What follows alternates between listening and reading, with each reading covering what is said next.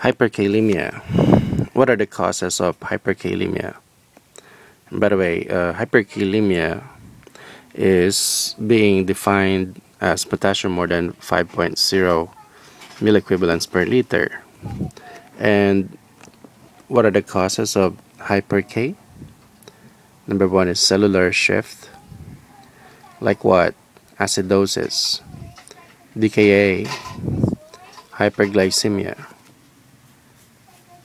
Next would be cellular cellular damage like burns in trauma or in rhabdomyolysis.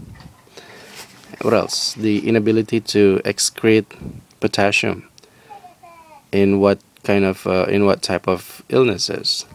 Renal failure and uh, hypoaldosteronism. And what else would be uh, cause of uh, hyperkalemia? Uh, those people who have an increase in potassium intake. Some of the some some crazy patients have banana diet. So what are the clinical presentations of hyperkalemia?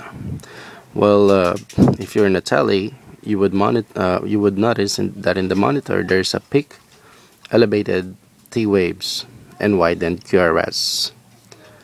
Um, there's also a prolonged PR interval.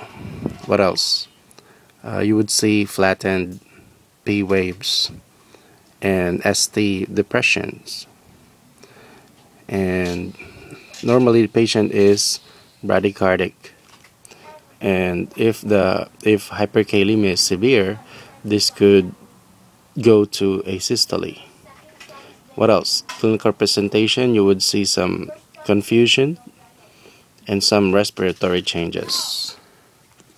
So, what are the treatment for hyperkalemia?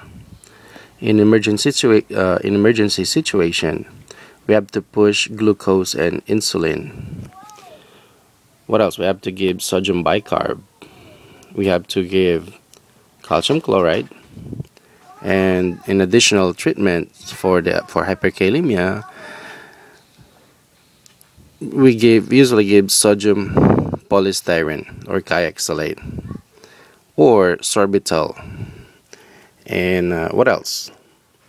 We should treat cause and dialysis is a very good one to take out the potassium in the blood.